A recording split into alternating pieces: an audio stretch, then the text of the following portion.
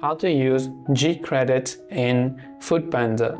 Now, if you don't know what G Credit is, G Credit is a credit line from Gcash that can be used to make purchases online or in store. And the interest rates vary based on the user's Gcash activity and payment history.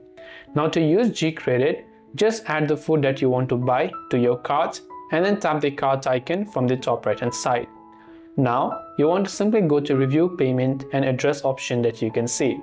Now it is on the payment page where you have to simply go ahead and then choose the Gcash credit if you have available. Now for Gcash credit to be available, you must link your Gcash number and then tap the add a payment method option that you can find over here. Then once you've done that, over here you should be able to find if you have got any sort of credits and then you'll be able to add them to your Gcash.